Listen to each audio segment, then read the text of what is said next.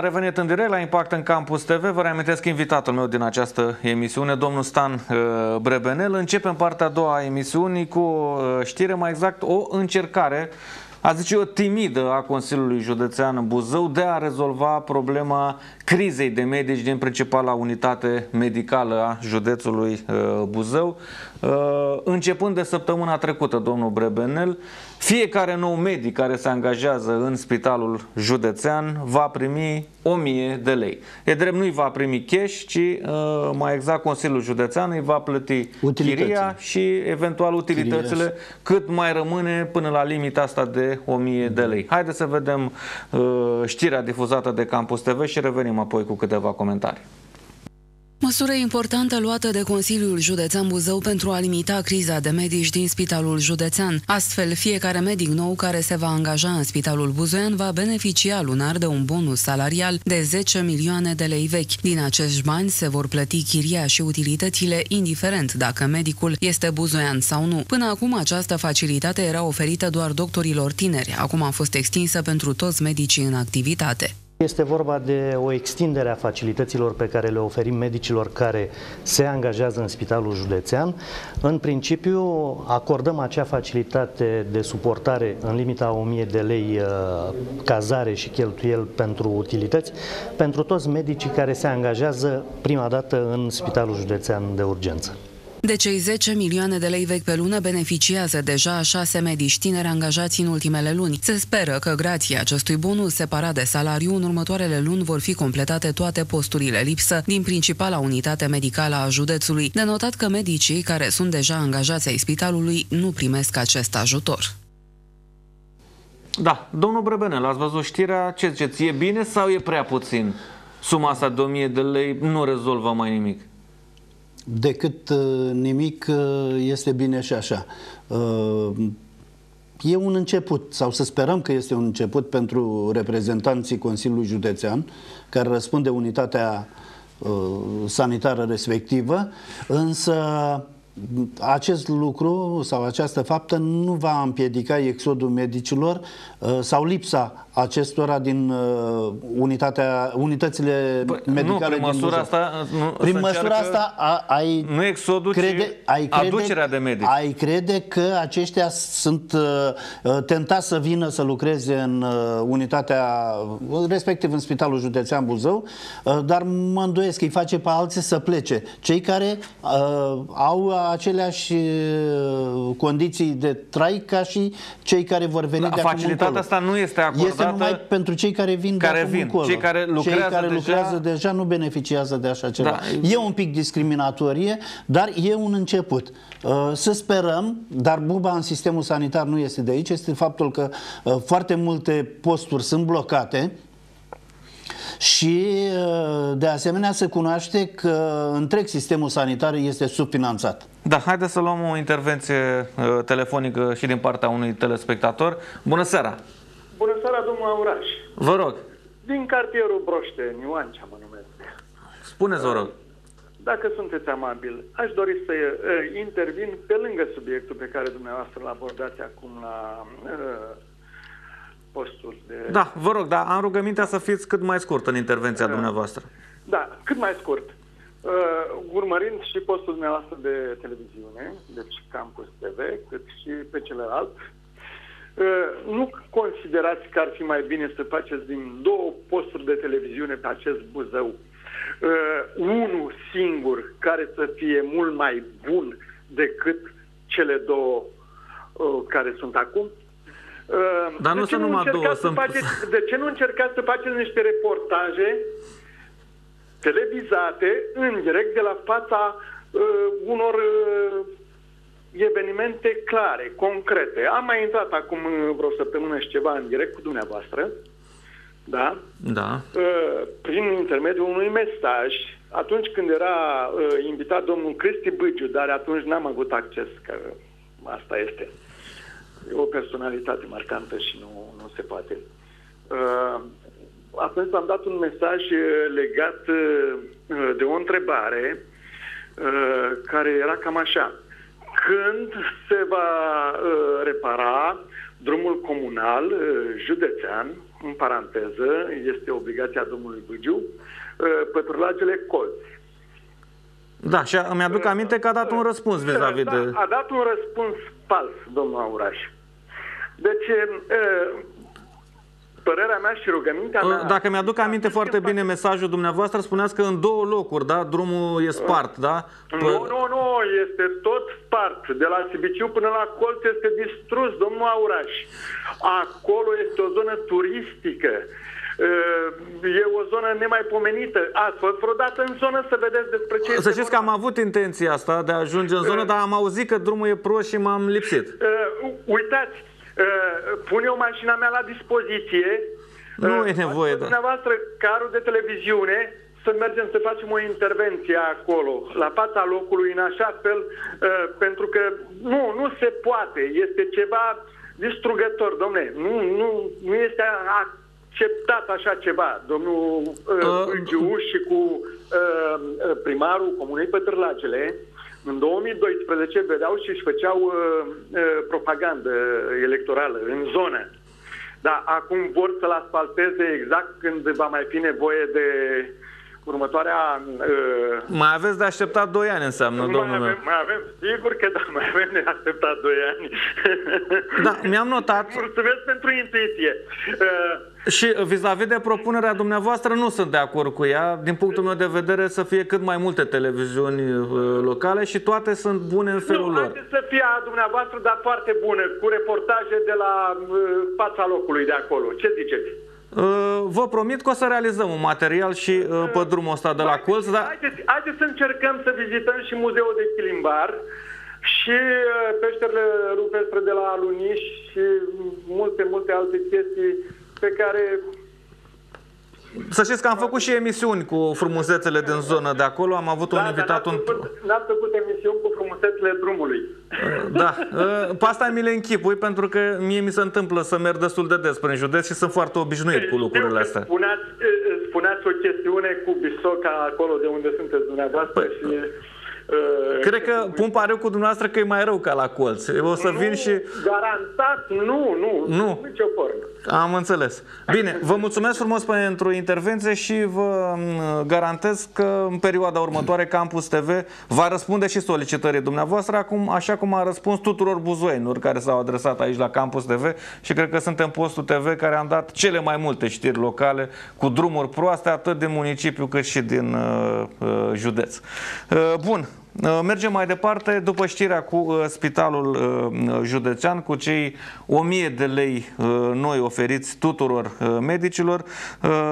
Haideți să vedem și ce părere au buzoienii intervievați astăzi de colegii mei vis-a-vis -vis de posibilitatea introducerii votului obligatoriu. Este în acest moment o propunere a unor parlamentari PSD de a se introduce votul obligatoriu în România, cum e de exemplu în Grecia. Haideți să vedem răspunsurile buzoienilor și revenim apoi cu câteva comentarii. Facultativ. Pentru că fiecare se îndeplinește voința pe care și vrea să mă gândesc. Cu toate astea... Poate să fie dată și o lege în care să fie obligatoriu, pentru că astfel, din ce în ce mai puțin la vot, nu mai ajungem să mai votăm, de exemplu, președintele sau guvernul, sau ce, cu majoritate de 10%, majoritate în ghilimele. Părerea mea că toată lumea trebuie să meargă să voteze. Asta e părerea mea. Dar fiecare votează pe cine vrea, pe cine dorește, pe cine crede.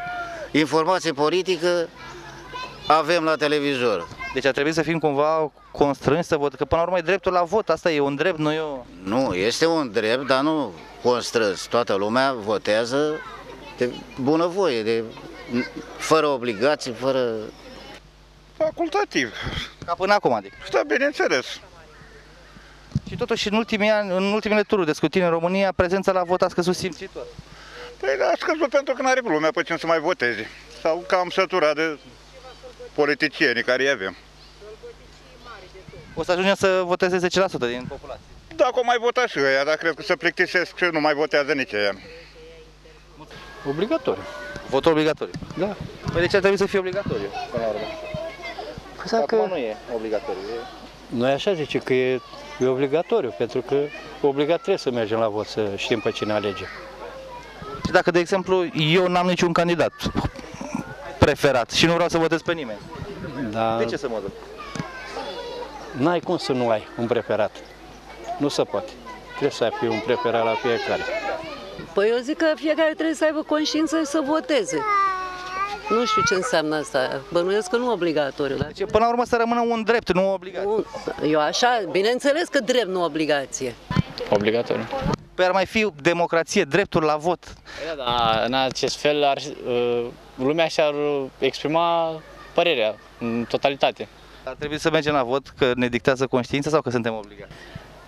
Pentru că, într-un fel, dacă nu mergem, nu facem nimic. Deci trebuie să vrem asta, nu să ne oblige cineva. Nu, nu trebuie să fie obligatoriu. Nu trebuie să fie obligat pe nimeni să voteze, mai ales că situația politică în țara asta e dezastroasă. Ca până acum, e sigur. Cu toate astea știți cum e, că la ultimele tururi de scutin din ce în ce mai slabă prezența la urne. Asta trebuie să facă și reclame, că dacă nu face reclame, nici nu se duce lumea. Să fie un drept al cetățeanului. Să fie facultativ, nu obligatoriu. Ca până acum. Da, ca până acum are plăcere omul să ducă, să duce, alege pe cine dorește, să nu fie un vot forțat cu tigaia, cu găleata, cu alți. Toată lumea să iasă la vot. Nu e corect așa? Păi ar, n-am- ar mai fi democrație dacă votul ar fi obligatoriu? Nu, să vie toată lumea la vot, că de-aia iese unul și altul pe sub uh, teșghea. Nu e corect așa? Și cum rămâne cu expresia dreptul de a vota? Că n-ar mai fi un drept, ar fi o obligație. Păi da, să fie obligat fiecare să iasă la vot, că fiecare vrea pensii mărită, fiecare vrea salariu mărit, fiecare vrea una alta, așa că e corect, nu? Da, am văzut vocea Buzoianului. Din câte am remarcat eu, înclin uh, să cred că buzoienii sunt de acord într-o bună majoritate cu introducerea votului obligatoriu. Astăzi citeam pe uh, internet la europarlamentare la Buzău, în județul Buzău, prezența la vot a fost de sub 30%, 29% uh, și ceva. Sunt aleși parlamentare în țară cu mai puțin de 1000 de voturi și alea jumătate cumpărate. Ce ziceți, domnul Brebenel? Ar fi o măsură bună pentru România sau n-ar fi democratic să, uh, ca votul să fie obligatoriu? Despre această intenție mai mai am exprimat într-o emisiune la dumneavoastră. Uh, Consider că prioritățile ar fi alta pentru legislativul României, Uh, iar dacă vor aleșii să scoată pe cetățeni din casă să prezinte la, la vot, trebuie să devină politicile lor și mai ales aplicarea acestora în practică atractive pentru marele mase, pentru masele de alegători. Da. Din păcate nu se va întâmpla așa, Uh, Nu se e va- aproape utopie ce spuneți dumneavoastră. Deci ei- ei mă obligă pe mine să ies la vot, dar ei nu sunt obligați prin absolut nimic să participe la ședințele de plen sau din comisii. Bate vântul pe acolo. Mai mereu o vedem știri la televiziune că nu s-a votat nu știu care lege din cauza lipsei de quorum, că n-au participat, când a fost să voteze au ieșit din sală și așa mai departe. Se pune problema aici oarecum, domnul Brebenel, și de legitimitate, legitimitatea Legitimitate. aleșilor, în condițiile în care uh, doar unul din trei sau nici măcar ăia nu vin să voteze, cine ești tu până la urmă da, să uh, răspunzi sau să decizi destinele unei țări sau unui județ sau unui oraș?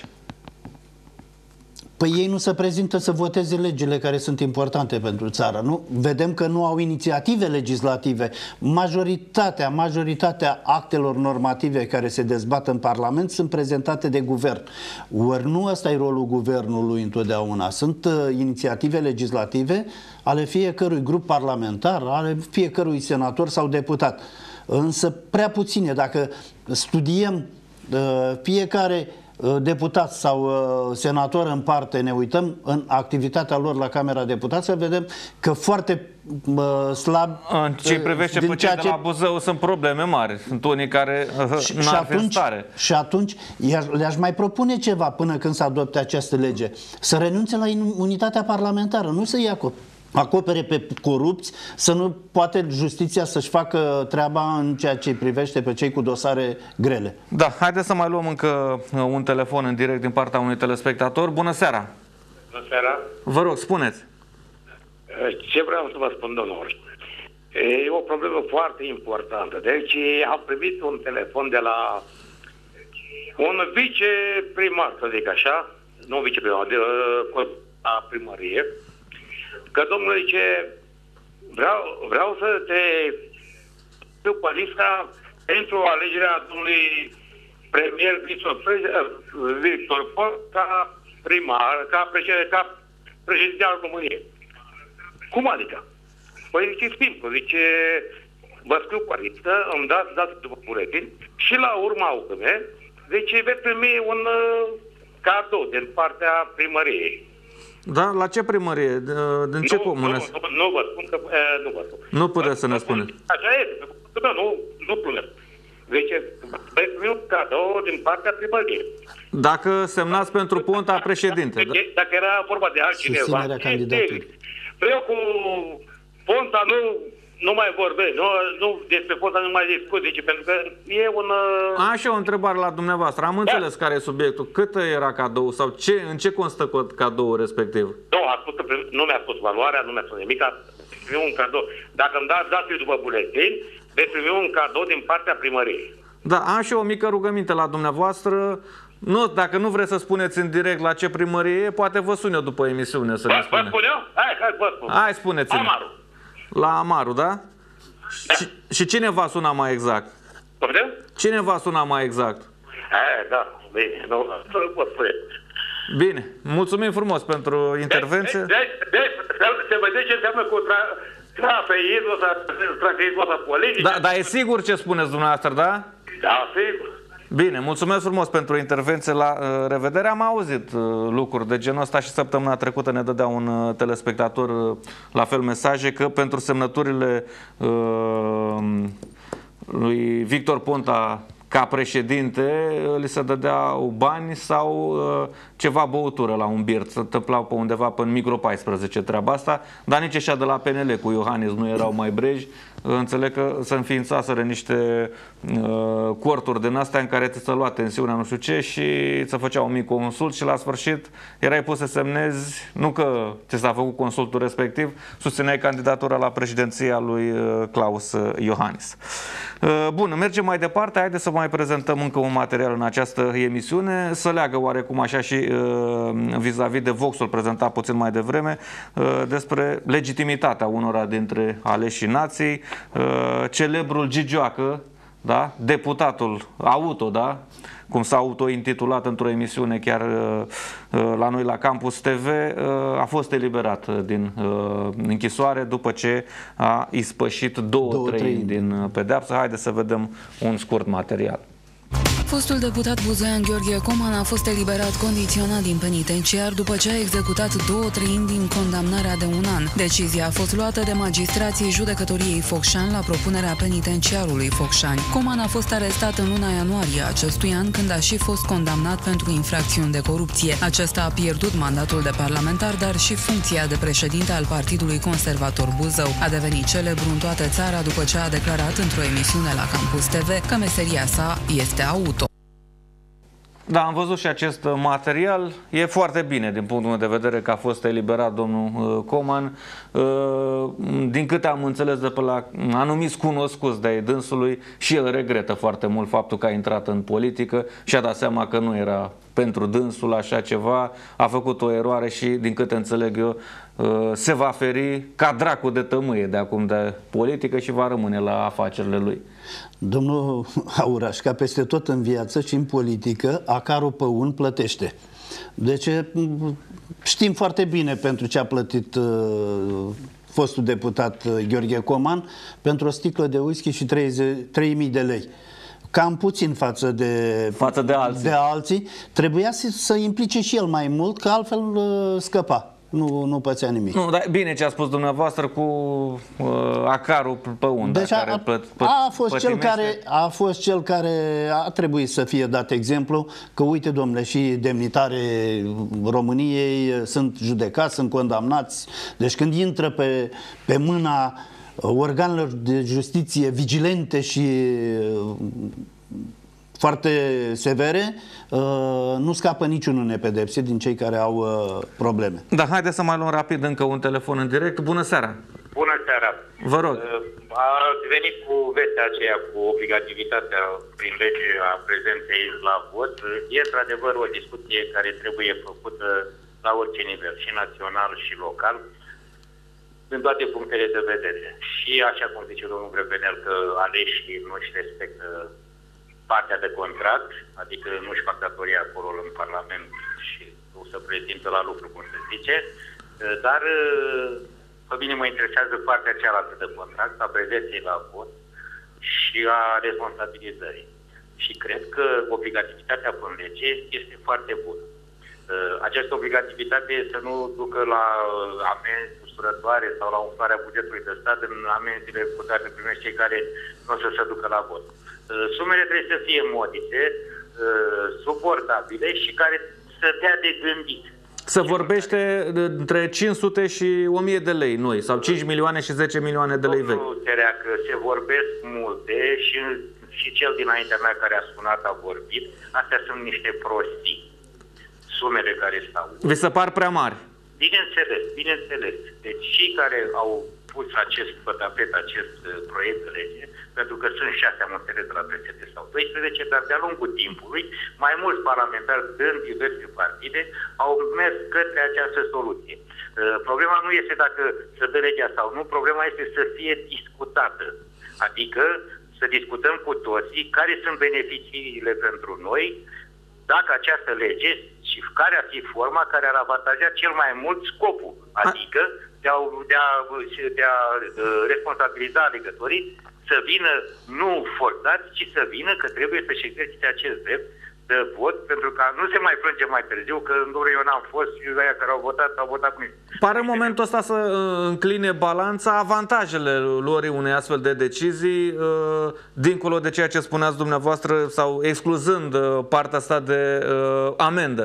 Dar aș vrea să vă întreb care ar fi dezavantajele, ce dezavantaje ar avea... Deci, deci dacă suma ar fi suportabilă de cel care nu vrea să vină la vot, deci ce eu permit să nu vin la vot, banii sunt niște bani care se duc în bugetul, în bugetul țării, deci nu pierd cine știe ce, deci pot să-mi, pre, să-mi permit să nu mă prezint la vot. Dar în condițiile unei populații destul de pipernicite în România, cred că și 100 de mii de lei vechi, dacă ar fi amenda, mulți ar veni, ar veni la vot. Deci dacă această lege ar fi popularizată, discutată... Uh, Pentru 50 de lei vându-ne voturile, doamna uh, Ar fi mult mai ușor ca lumea să înțeleagă despre ce este vorba și la un moment dat s-ar putea nici să nu mai fie necesară. Deci aplicarea ei să se facă, dar să nu mai fie necesară pentru că deja nivelul de conștiință a crescut și nivelul, numărul celor care se prezintă la vot este foarte mare și atunci legea și atinge scopul. Dar discuția trebuie făcută. Deci la toate nivelurile și ar fi bine să aveți o emisiune specială pentru așa ceva, cu invitați ca domnul Verbenel sau din partea alegătorilor, cu oameni politici, adică cu, cu, să vină cu, cu soluții și cu discuții aplicate, oameni care cunosc acest lucru și care pot să lumineze poporul în mersul de mai bine. Oricum nu avem nevoie de cei care au sunat înainte, omul ăla care zice că pe el l-a chemat să-i dea lui Ponta nu știu ce semnătură, pentru că astea sunt niște baliverne pe care le aruncă unii și alții în dorința de a se face util. Da, da pot fi baliverne, dar pot fi și lucruri nu, nu, nu, adevărate. Nu are, nu are nevoie Ponta sau Iohannis de uh, ăla de ce păcălește că ți-a pensiunea și pentru Iohannis sau ăsta că-i dă un cadou. Uh, s-a dovedit că și ceea ce s-a discutat la, la Piteș cu, cu Dastelul sau că bă, primii primar care îi trece la noi la, la PSD le dăm câte un Dastel. A făcut un ovrumă la telefon, ăla care a auzit-o s-a pus cu ea la ziar, la televiziunea pe care o iubește, televiziunea a ieșit, a ieșit că eu te dore, dă PSD-ul. Nu dă niciun Dastel. Da, mulțumesc frumos, domnul meu, pentru intervenție și de asemenea vă mulțumesc pentru sugestia realizării unei uh, emisiuni vis-a-vis -vis de acest uh, subiect. Mergem mai departe, suntem în mare întârziere. Haideți să mai vedem un scurt uh, material despre vizita viceprimarului municipiului Buzău, Fănică Bârlă, peste ocean. 10 zile va sta domnul Bârlă peste ocean și avem speranță, tragem nădejde că viceprimarul municipiului Buzău va vedea multe și se va întoarce probabil cu proiecte pentru comunitatea buzoiană. Probabil că vom avea foarte multe lucruri de învățat dar noi uh, ar trebui să ne învețe americanii să facem ce fac ei cu bani mult mai puțin. Asta să vedem dacă sunt în stare să, să poată să ne, să ne, să, fac, să ne facă un training de, de administrație eficientă și în folosul cetățeanului, dar cu banii care îi avem noi de la buget. Este mult mai greu. E ușor când ai bani, faci orice. Între 4 și 15 septembrie, vicele Fănică Bârlă va învăța câte ceva din stilul unui vice american. Încerc să învăț cât mai multe lucruri, să prind cât mai multe lucruri. E o diferență totuși între, între un continent și altul. Există o altă mentalitate, bazându-se și pe alte fonduri, alte rezerve, dar sper să prind lucruri care se pot implementa în administrația locală în România și să fie benefice pentru cetățeni. Viceprimarul Bârlă stăpânește bine două limbi de circulație internațională, franceza și rusa. Din păcate, vorba Iancheilor îi este mai puțin familiară. Totuși speră să nu se rătăcească prin lumea nouă. Pot să mă exprim în limba engleză cât să nu mor de foame și să pot să ajung acolo unde îmi doresc. Nu pot să am o conversație literară sau nici măcar o, o conversație foarte fluentă. Eu am făcut franceza și rusa avansat și am prins engleza așa pentru că am fost obligat să învăț să mă auto-educ și în limba engleză. Nu este limba mea pe care o stăpânesc foarte bine străin. Da, am văzut și acest material. Ce credeți, domnul Brăbănel? Cu ce proiecte va veni domnul viceprimar uh, aduse din America și eventual implementate aici la Buzău? Cu cele cu care a plecat domnul Auraș. Uh, nu este rău că se mai duc unii să vadă ce fac uh, alții în ceea ce privește administrația publică. Însă nu știu dacă domnul Bârl avea nevoie de uh, un asemenea A zis că a avut și o uh, remarcă demers. destul de interesantă. Domnule, nu prea au ce să ne învețe dacă e să ne învețe să facem lucruri importante cu bani puțini. Ca așa e în România. Bă, De ce spun că nu prea ar avea ce să învețe domnul Bârlă pe acolo? Pentru că el este un om foarte, foarte pregătit, foarte bine pregătit, am putea spune. Uh, El a făcut vreo două facultăți și era gata-gata să fie bunic când a terminat-o pe a doua. Deci, la un an de zile după ce a absolvit facultatea normală, după absolvirea liceului, uh, a o mai să stat, se supere iar domnul Bârlă a, a, pe mai, a dumneavoastră. mai stat el vreun, vreun an așa și s-a gândit, mă, meseria asta care am uh, învățat-o în cei 5 ani de facultate sau 4, nu prea mă este de folos, uh, așa că ia să mai pune o pe părinți la cheltuială și mai a făcut una uh, pe Bun, la asta Iași. contează mai puțin. Vis-a-vis Dar de vizita în, în, America. între timp am mai făcut niște uh, cursuri uh, pe la ASE despre uh, administrarea, administrația publică locală, deci domnul Fănică Bârlă este pregătit. Și eu zic că putea să fie trimis un, uh, un unul mai de perspectivă, nu unul în pragul pensiei să ducă să... Dar pe banii contribuabililor se poate plimba oricine, mai ales în America, că nu oricine poate să treacă gârla aia mare, cum zicea Neamarin, miliardarul. Deci dumneavoastră banii- credeți că mai pe degrabă banii trebuia trimis uh, celălalt viceprimar, Sebastian Radu? Nu neapărat viceprimarul Sebastian Radu, ci poate candidatul la, la viitoarele alegeri la primăria Buzău. Da, păi, cine știe cine va fi candidatul la primăria Păi nu Buzău? știu, dacă DNA lucrează cu seriozitate, vom avea Poate va fi domnul, candidați. domnul Bârlă viitorul candidat. Cine poate ști. Bun, uh, hai să citesc uh, pe final de emisiune și uh, un uh, mesaj legat de prima parte a emisiunii vis-a-vis de mașinile parcate aiurea. Sunt foarte mulți boi care nu știu să parcheze uh, și asta pentru că autoritățile le permit acest lucru. Ar trebui atenționat aviz poliției buzoiene, ne scrie doamna uh, Carmen, care îi mulțumim. Cum vă mulțumesc de asemenea și dumneavoastră, domnul Brebenel, pentru prezența la uh, emisiune. plăcere. Și celor care uh, s-au uitat și astăzi la uh, Impact în Campus TV. Uh, nu terminăm emisiunea înainte de a mai prezenta un material, de data asta din lumea fotbalului, o declarație, să zicem, ceva mai haioasă a antrenorului Gloriei, Viorel Ion, supărat de o arbitră asistentă. Ce a spus Ion Viorel, vedem un material ala următor. și mudică. Ala și mudică, bine ziceți, atât pentru astăzi, la revedere vă spun și rămâneți pe Campus TV pentru că de la 19.30 urmează ca de obicei jurnalul, până mâine, la revedere. Să-mi schimb uh, tricou, ceea ce azi nu se putea. Deci, deci de aici m-a enervat cel mai mult. Deci m-a luat în prima secundă să iau un maiu pe mine. Eu de câte ori am pus maiu pe mine, am pierdut meciul. Pentru că nu aveam ce să iau maiu, că ei au jucat în alb și noi în albastru. Ce are galbenul cu... Păi ce ca el. Am alb pantaloni, zic. Vrei să mi dau jos? Și am zis dau pantalonii jos și s-a supărat și a plecat. Atunci a rămân așa.